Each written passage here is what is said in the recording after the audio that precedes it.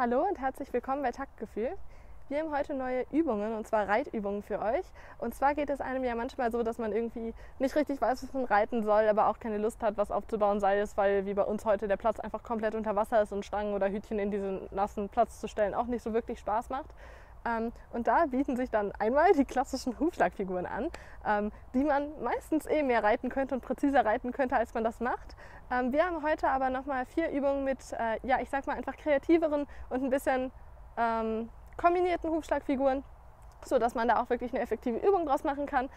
Und die zeigen wir euch jetzt. Ja, unsere erste Übung ist eine Kombination aus Volten und der einfachen Schlangenlinie. Es ist ja so, dass die einfache Schlangenlinie ähm, erstens gar nicht so einfach zu reiten ist und man häufig so ein bisschen die richtigen Biegungen verschlammt. Und deswegen starten wir jetzt da, wo wir unsere Schlangenlinie normalerweise starten würden, erstmal mit einer Volte. So können wir nämlich schon mal unsere richtige Biegung kreieren hier. Denn in der Schlangenlinie biegen wir ja quasi einmal nach innen, dann im Prinzip für den Bogen wieder nach außen, also ins Innere des Bogens und dann wieder neu ins Innere der Bahn. Das heißt, jetzt haben wir unsere Biegung schon kreiert. Dann können wir einmal umbiegen. Ich bleibe jetzt hier einmal in der 2 zu 2 Führung.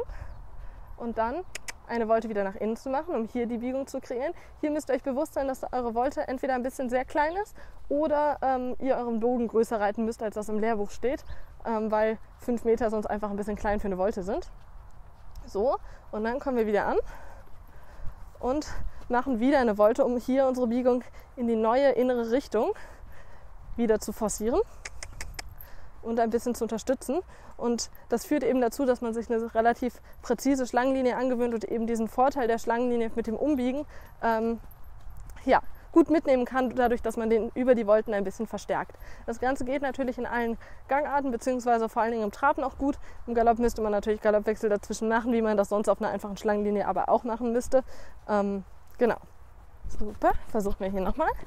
Also einmal erste Volte.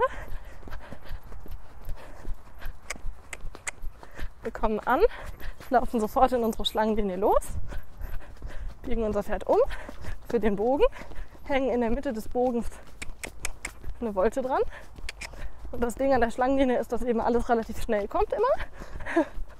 Und dann beenden wir unseren Boden, Bogen, biegen unser Pferd wieder um und leiten eine Volte in die neue Richtung ein. Komm, komm, komm. Super. Super. Gut. Fein. Ja, fein. Ja, unsere zweite Übung sind Kehrtvolten in so einer Art Schleife aneinander gelehnt. Das heißt, wir beginnen eben mit der ersten ähm, aus der Ecke kehrt man kann das natürlich bis zur Mitte der Bahn reiten. Das machen wir hier auf unserem kleinen Platz meistens. Man kann es auch ein bisschen kleiner machen. Kommt ein bisschen drauf an. Ja, wir machen hier ein bisschen starke Biegung gerade durch das Wasser und kommen dann an B wieder aus.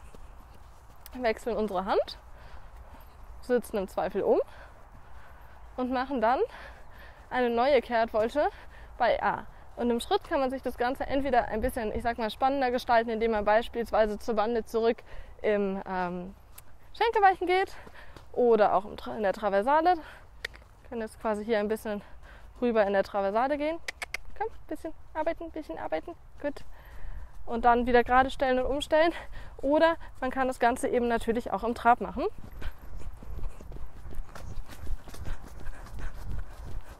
Hey, kannst du mal ein bisschen arbeiten?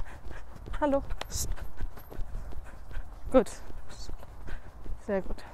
Und auch im Trab kann ich natürlich hier bisschen eine Traversalidee dazu nehmen, wenn ich mir das Ganze ein bisschen spannender gestalten möchte oder eben auch einfach nur einen Schenkel weichen. Einfach so weit, wie ihr mit eurem Pferd da seid. Nee, Schatzi. Gut. Und auch wieder zurück in die neue Richtung dann. Super. Und ihr könnt eben eigentlich mit dieser Übung auch den Außengalopp ein bisschen vorbereiten. Dann könnte man angaloppieren. Super. Eben einen Ausdecke kehrt galoppieren. Komm. Dann wäre ich hier im Außengalopp.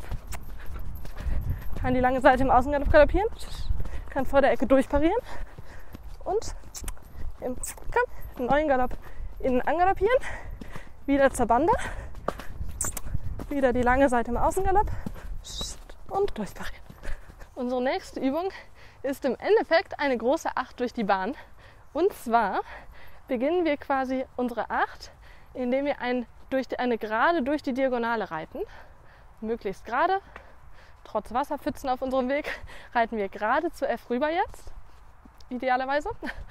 Und dann hängen wir quasi einen halben Zirkel ab ran, um zurück für unsere Acht durch, aus dem Zirkel zu wechseln. So haben wir quasi immer auf einer Hand das gerade wechseln und auf der anderen Hand das durch die Biegung wechseln und wirklich ähm, schön auf den Zirkel gehen. Wir werden jetzt da noch bei A auf den Zirkel gehen, werden ein bisschen Biegung anfragen, Schatzi. Danke. Und dann eben möglichst schön bei X auch umstellen, während ich ja auf der Diagonalen mein Pferd eigentlich idealerweise gerade gestellt haben möchte. Super. So. Jetzt werde ich umstellen und in die neue Biegung nicht zu eng, trotz Matsch, super. Eben wieder auf dem Zirkel reiten. Und auch hier geht unser Zirkel noch nicht zu Ende, auch wenn mein Pony das so sieht, sondern erst jetzt bei unserem imaginären C wäre das zu Ende. Diese Ecke hier reite ich wieder aus. Gleichzeitig ist das Ganze natürlich ein bisschen spannend am Trab. Ich muss jetzt mal schauen, was ich mit meinen Zügeln hier mache, wenn wir traben. Hier ist theoretisch ein Zirkel. Super. So, dann haben wir ein Umbiegen. Super. Bisschen Zügelchaos hier in der Hand. Das merke ich doch auch an seiner Laufart. Hier war ich jetzt ein bisschen spät, aber jetzt halte ich ihn möglichst gerade. Super. Und wir reiten über die Diagonale. Wir wollen hier eigentlich nicht verstärken, auch wenn der Tano das gerade ein bisschen macht. Super. Sehr schön. Und hier leiten wir wieder den Zirkel ein. Das heißt, ich nehme auch die Ecke so ein bisschen weg und machen einen Wechsel aus dem Zirkel. Wie gesagt, hier bin ich ein bisschen unkoordiniert aufgrund des Zügelwechsels. So, die letzte Übung ähm, hat wieder was mit Volten zu tun. Und zwar wechseln wir jetzt die Hand durch die Mittellinie oder auch durch die Diagonale. Im Endeffekt könnt ihr das aussuchen und machen quasi bei X erst eine Wolte nach rechts, dann eine Wolte nach links. Oder eben andersrum, auch da ähm, könnt ihr natürlich erst nach links und dann nach rechts reiten. Wir versuchen das jetzt einfach mal. Wir reiten also auf der Mittellinie jetzt stur Richtung A quasi, möglichst gerade.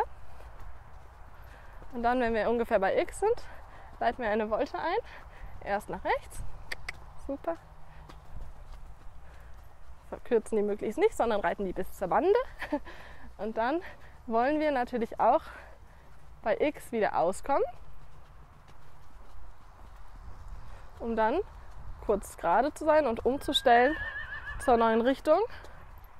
Richtung B dann hier in unserem Fall, also nach links.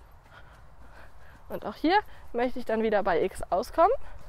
Und jetzt, sobald ich bei X bin, mein Pferd wieder möglichst gerade machen und wieder möglichst eingerahmt und schnurgerade auf A zuzugehen, ohne hier über irgendeine Schulter wegzudriften. Sehr gut, Tano.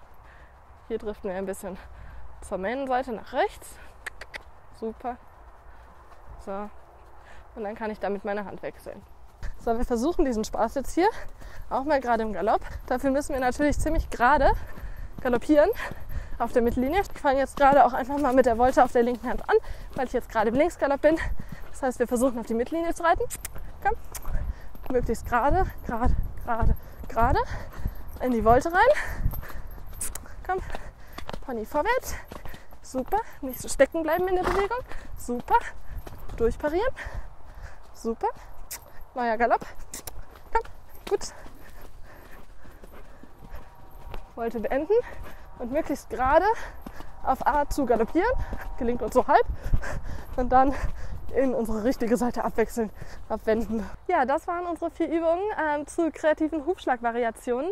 Wenn ihr noch Übungen zu bestimmten Themen habt, zum Beispiel sei es der Trab fällt eurem Pferd schwer oder es rennt immer weg im Trab, irgendwelche, ähm, ich sag mal, konkreten Probleme, zu denen ihr Übungen wollt, dann schreibt uns das sehr gerne in die Kommentare.